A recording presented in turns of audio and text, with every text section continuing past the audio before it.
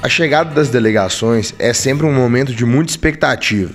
Apesar das longas horas de viagem, o tempo dentro do ônibus é uma ótima oportunidade para descansar, certo? Demorou umas 7 horas para chegar, só que tá tranquilo. E aí vocês vieram dormindo ou veio, veio naquela, naquela emoção lá, a galera batucando, empolgado? Não, veio na agitação, só que depois passou um filme lá, o pessoal dando descansado para chegar depois. É, a viagem foi cansativa, né? 10 horas.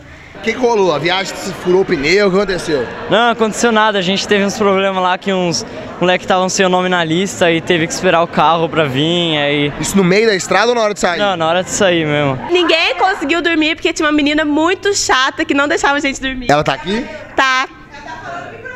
Ah, é você mesmo? Não deixei mesmo. Ninguém... Por que, que você não deixou ninguém dormir? Porque agora não é lugar de dormir. Só segunda-feira para dormir. Parece que os atletas entenderam o recado de Mariana e, além de mochilas e travesseiros, os instrumentos para fazer barulho eram obrigatórios. Oh, e, essa, e essa animação toda vocês chegaram aí?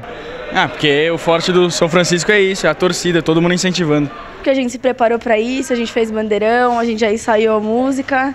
E não é só nos Jesuítas que tem, são em todos os campeonatos que tem essa torcida bem animada. Importante a gente fazer o barulho e animar a galera aí. Mas chega uma hora que o corpo não aguenta. É hora de se recolher e ir para os dormitórios. A gente faz bastante brincadeira dentro do dormitório.